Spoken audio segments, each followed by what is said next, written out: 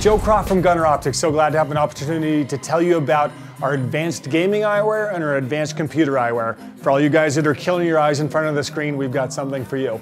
Just real quick on the technology behind them, you do see the lens there that does filter out the high energy visible part of the spectrum. It's got anti-reflective, anti-glare coatings to help reduce that down that visual noise. And then you'll see that it fits real close to your face. So it protects your eyes from any of those air currents that are gonna dry your eyes out. Because as you guys know, when you're looking at the screen, you stop blinking, you really do reduce that blink rate. And to have something close to your eyes like that can really protect, preserve that moisture and keep you from uh, drying out quite so much.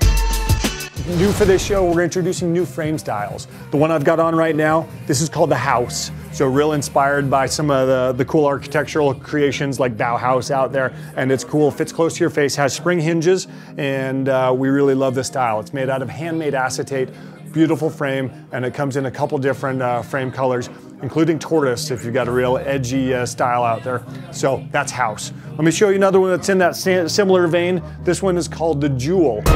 It's got that cat eye retro style. It is that same handmade acetate with the spring hinges, super comfortable to wear all day. You're seeing it in that amber tint that is, it filters out that the, the light and really accommodates the vision for artificial light that's coming off the screen there. Want to show you one more style that we just introduced. This one's very cool. This is called the vinyl.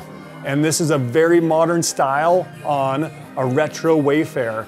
It's got steel front, it's got magnesium alloy temples on it, has spring hinges included, so it's comfortable, adjustable nose pads, you can wear this all day, super comfortable. And it is in the crystalline tint, which is something we're introducing here at CES. It's for graphic designers, people that can't handle that uh, amber tint because they need to do photo editing, video editing, they need to work in true color.